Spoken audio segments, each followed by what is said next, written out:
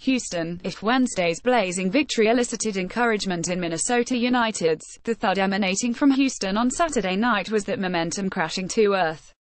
Days after Darwin Quintero and the untied attack tantalized fans with an offensive display, a road game reminded of the club's bugaboos as set-piece misery and a listless attack led to a 3-0 loss to the Houston Dynamo. There's nothing in the game and then the first two goals were set pieces again, coach Adrian Heath told reporters at BBVA Compass Stadium. It's not like these were clever goals where you have to hold your hand up as a coach and go, that's a really good play and it's a good finish.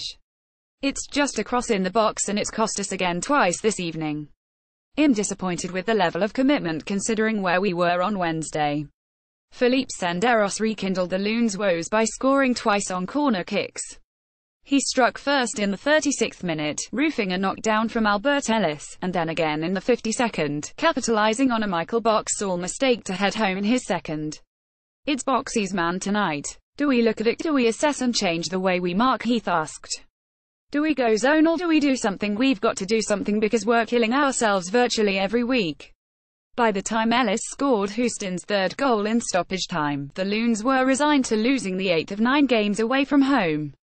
Heath praised the club's shape for most of the night, and until the final 10 minutes, Minnesota 6-1-1, 1 forced Houston 7-6, 4 to shots from distance or out wide.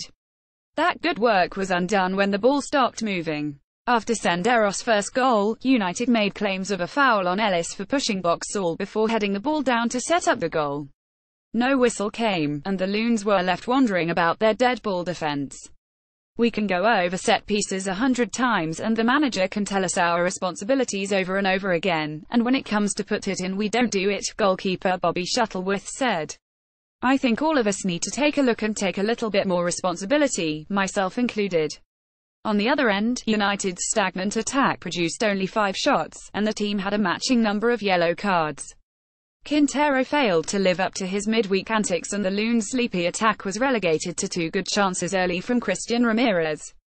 That's not good enough if the club wants to improve in the second half of the I think we had a good win on Wednesday and kind of spoke about how we want the second half of the to be a turn around, Shuttleworth said.